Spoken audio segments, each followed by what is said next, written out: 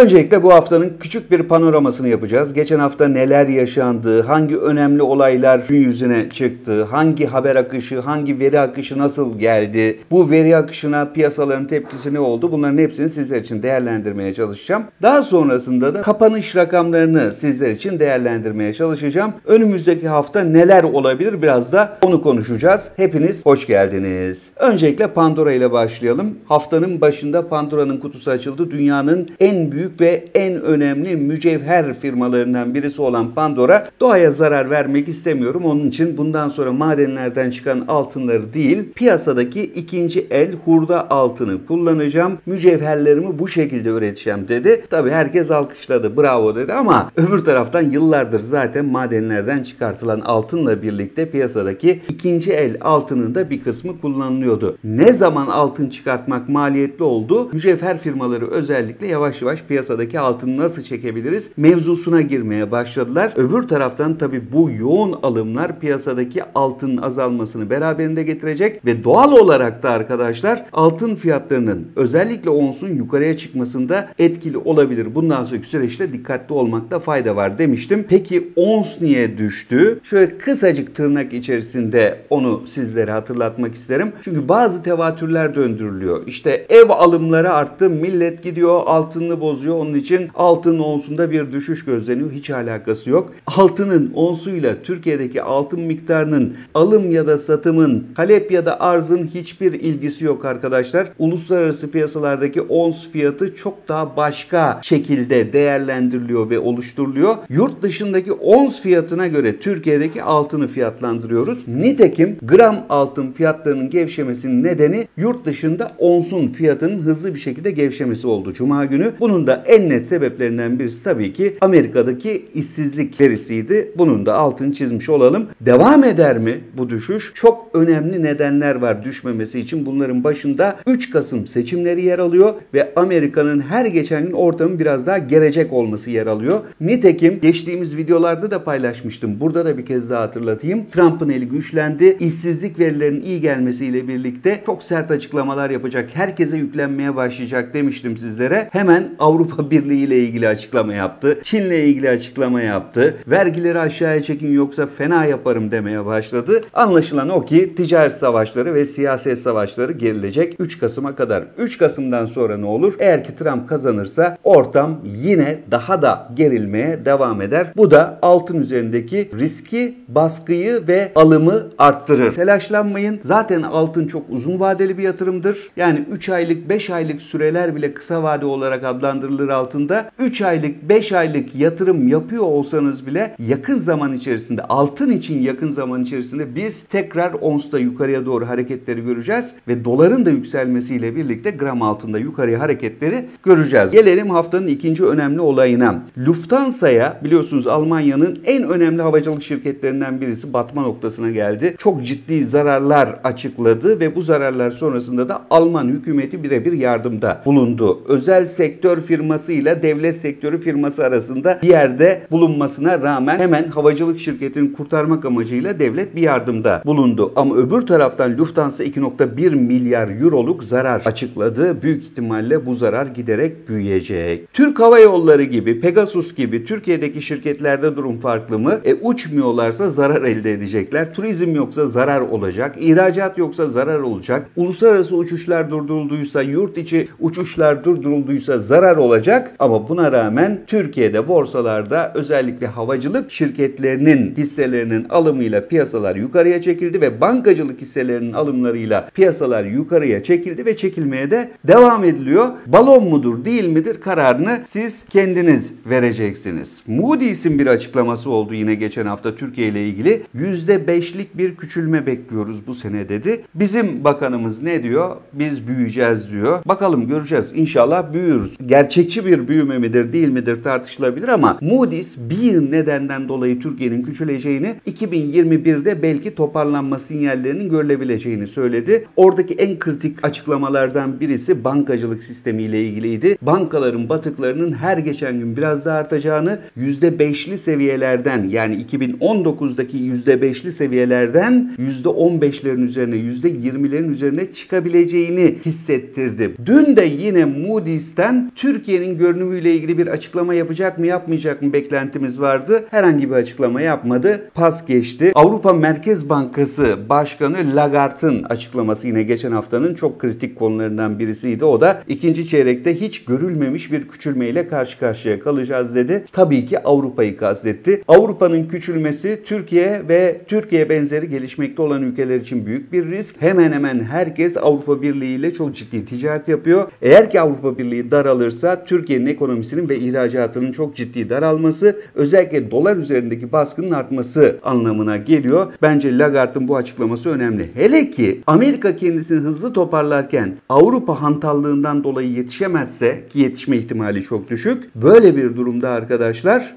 Amerika bu işten en karlı çıkan ülkelerden birisi olacaktır. Dünkü videomda da söyledim. Güvenli liman olduğu için de çok hızlı bir şekilde para akışını Amerika'ya doğru göreceğiz. Bu da gelişmekte olan ülkelerle Avrupa Birliği ülkelerinin krizini derinleştirecek. Bunu da unutmamakta fayda var. Avrupa Birliği 600 milyar euroluk tahvil alımı paketi açıkladı. Ama burada bir not da verdi. O da geçmişten gelen batık kredileri ya da batık tahvilleri ödemeyeceğiz kardeşim. Sadece pandemiden dolayı oluşan sıkıntıları gidermek için bu atılımı yapıyoruz dediler. Diğer taraftan Merkez Bankası rezervleriyle ilgili çok önemli açıklamalar geldi. Merkez Bankası rezervlerin hızla daraldığı konuşuluyor. Özellikle yurt dışı basında Merkez Bankası'nın rezervleri son 3 ay içerisinde 44 milyar dolar civarında tükendi. Mayıs ayını katarsak 50 milyar dolarlık bir tükeniş var. 2019'dan bu yana bakarsak 70 milyarın üzerine çıkmış durumda Merkez Bankası'ndaki rezervlerin tükenmesi. Bu ne demek? Merkez Bankası acilen para bulmak zorunda. Hatalar yapılmaya devam ediyor. Sadece doları baskılamak adına her türlü Merkez Bankası'nın elindeki son kurşunlar bile atılmaya devam ediliyor. Bazı tevatürler var. Umarım ki tevatürdür. Bankaların özellikle özel bankaların zorunlu karşılıklarının bile kullanılmaya başlandığı söyleniyor. Bir diğer önemli ayrıntı yine geçen hafta Muharrem İnce'nin çıkışıydı bir televizyon kanalında. İşte Katar'la yapılan swap anlaşmasında dolar karşılığının 12 lira hatta 12,5 lira olarak hesaplandığını söyledi. Bunun bilgiye dayalı bir veri olduğunu söyledi. Eğer böyleyse çok enteresan bir tablo çıkıyor karşımıza. Vatandaşa dolar 6.80, müteahhite dolar 9 lira. Avrasya Köprüsü'nden dolayı biliyoruz onu artık net bir şekilde. E, Katarlılarla da böyle 12,5 lira üzerine anlaşıldıysa anlaşılan o ki Türkiye'de doların 3 tane fiyatı var. Birincisi vatandaşa uygulanan fiyat, ikincisi müteahhite uygulanan fiyat, üçüncüsü de Katarlılara uygulanan fiyat. Katarlılara uygulanan fiyatla benim tahminimde örtüşüyor. E Katarlı da kolay kolay yaş tahtaya basmaz. Onun için büyük ihtimalle o 12-12,5 liradan anlaşmış olabilir.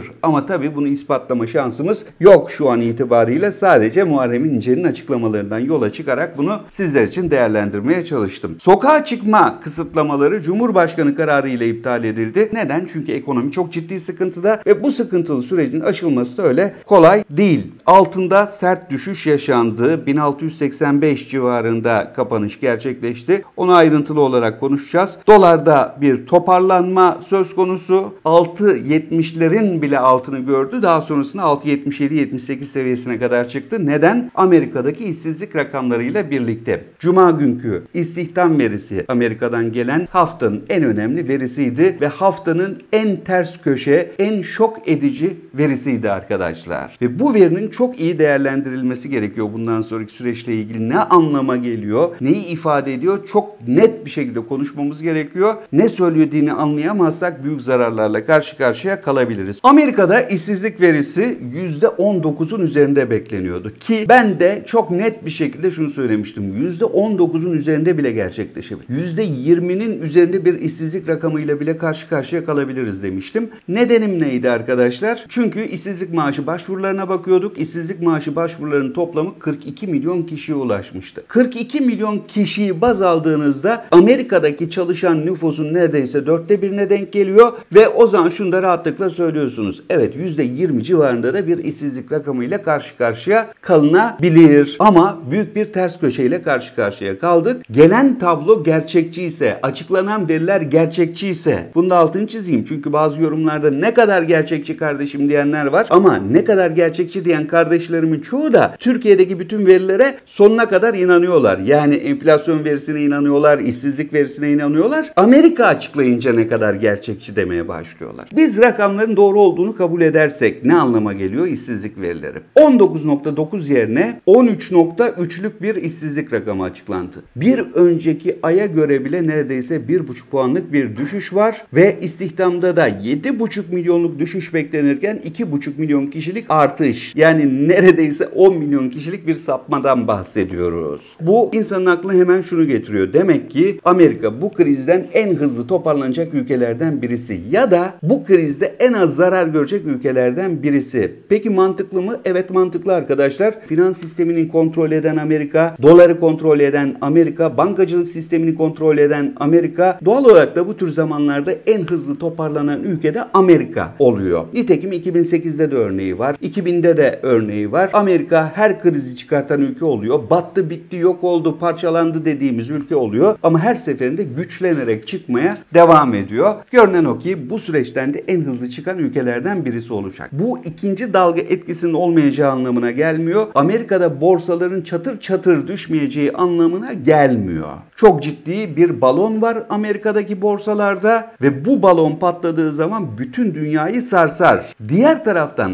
Amerika'daki borsaların yükselmesi her zaman Türkiye ve Avrupa borsalarında yükseleceği anlamına gelmiyor. Türkiye gibi ülkeler para sıkışıklığına devam ederlerse yani paraları bitmeye devam ederse Avrupa Birliği toparlanma süreci daha da uzarsa hatta bir parçalanma sürecine girerse Amerika borsaları yükselse Amerika finans sistemi toparlansa bile bu ülkelerin toparlanması çok daha uzun bir zaman alıyor. 2008 krizinden bile Amerika 1-2 senede çıktı. Avrupa ülkeleri 4-5 senede çıktı. Amerika'da 1-2 banka battı. Avrupa ülkelerinde ülkeler battı. Hemen rakamlara şöyle bir göz atalım isterseniz. 110 binden kapanan bir borsa var. Tamamen balon etkisi diye düşünüyorum. Havayolu şirketlerinin hisseleriyle yükseliyor. Bankacılık hisseleriyle yükseliyor. Ne bankalar iş yapabiliyor bu süreçte ne havacılık şirketleri iş yapabiliyor bu süreçte ama hisseleri uçuyor gidiyor. Kriz derinleştiğinde Türkiye'deki para sıkışıklığının artması, reel sektörün hareketlenmemesi sonrasındaki sıkıntılar Türkiye'de daha da gün yüzüne çıktığında bir anda borsada tepe taklak sürecini görebiliriz. Hatta borsaya kote pek çok şirkette batık haberleri bile alabiliriz. Gelelim dolara. Dolar 6.77'den kapandı. Dolar düştü, battı, bitti diyenlere cevap vererek kapattı aslında. 6.60'lı seviyeleri çok kısa görüp tekrar 6.80'e yakın seviyeden kapattı dolar. Önümüzdeki hafta büyük ihtimalle 6.95 hedefine giden bir dolar kuruyla karşı karşıya kalacağız. Bakın bir kez daha altını çizerek söylüyorum. 6.95 hedefine kısa vadeli hedefimiz. 6.95'i kırdıktan sonra da 7.20'ye giden doları göreceğiz. Euro'ya bakıyorsunuz 7.66. Euro'yu hemen geçelim. Yanında pariteye bakalım. Çünkü parite Euro'yu işaret ediyor aslına bakarsanız. Euro dolarla birlikte paralel Türkiye'de yükselişini devam ettirecek ama paritede düşmeye başladı. Düşmeye devam edecek. Önümüzdeki hafta ya da ondan sonraki hafta tekrar 1.08 civarında bir Euro dolar paritesiyle karşı karşıya kalabiliriz. Bu dolarla Euro arasındaki makasın daralması anlamına gelecektir. Doların yükselişini daha da hızlandıracak. Faiz cephesinde 2 yıllık tahvilde 8.81'i görüyoruz. Hafif bir yukarı hareket var. Piyasa hala Merkez Bankası'nın politika faizini sindirebilmiş değil onu görüyoruz. Altının onsu 1685. Burayla ilgili çok soru geliyor. Bak bilemedin 1700'ün altına indi. Ne olacak? Bakın arkadaşlar 1700'ün altına gevşeyebilir sözünü en çok kullananlardan birisi benim bir. İkincisi burada ne kadar kalıcı olacak? Asıl mesele bu. Amerika ile Çin arasındaki gerilim ne kadar artacak? Trump dünyayı ne kadar gelecek? Bu pandemiyle ilgili ikinci dalga söylentileri ne kadar ayyuka çıkacak? Bakın şimdi dünyanın güney kesiminde de hastalık baş göstermeye başladı. Meksika gibi ülkelerde pandemi yeni bir solukla, yeni bir güçle orayı sararsa eğer dünya tekrar bir kriz ortamına doğru ilerleyecek hastalık krizine. Ve doğal olarak bu ekonomik sıkıntıların da büyümesini beraberinde getirecek. Evet Amerika'daki işsizlik verileriyle altın cuma günü hafif gevşedi. Hafif diyorum hala hafif diyorum. 1710 dolar seviyesinden 1685'e geldi ve 1685'te kapattı. 1680'in üzerindeki her rakam önemlidir ve göreceksiniz önümüzdeki hafta tekrar 1700 doların üzerinde olacak. Dolarda da yukarıya hareket devam edecek ve biz gram altında da 390'lı seviyeleri görmeye başlayacağız arkadaşlar. Haftalık olarak birkaç günlük olarak belli seviyelerin altına gelmesi beni hiç ilgilendirmiyor. Ben zaten uzun vadeli işlemler yapın diyorum size. Paranıza para katmak için değil, paranızı korumak için işlem yapın diyorum size. Kaldıraçlı işlemlerden uzak durun. Günlük hasatlardan uzak durun. Sabırlı olun, panik yapmayın. Zararınızı realize etmeyin. beklemeyi öğrenin diyorum size. Onun için benim içim son derece rahat. Özet, önümüzdeki hafta doların yükselişine tanık olacağız. Hem ons tarafında hem gram altın tarafında altının yükselişine tanık olacağız. Özellikle hem gelişmekte olan ülkelerin borsaları hem de Avrupa borsaları Amerika'dan